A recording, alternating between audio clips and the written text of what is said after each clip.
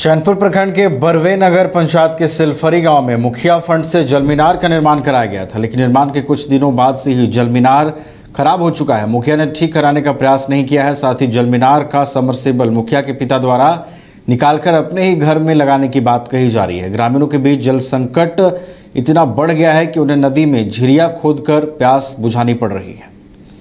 क्या रहेगा कि काफ़ी दिन से ख़राब पड़ा हुआ है सुनवाई नहीं होता है। छः महीना से चपाकल ख़राब हुआ है। ये करते जा रहे हैं लेकिन कभी कोई ये हो नहीं रहा सुनवाई नहीं हो पा रहा है। बताइए। हाँ। हाँ, सारा चीज़ करते करते सब थक गए कहाँ कोई सुनवाई हो नहीं रहा। पानी के लिए बहुत दिक्कत हो रही है।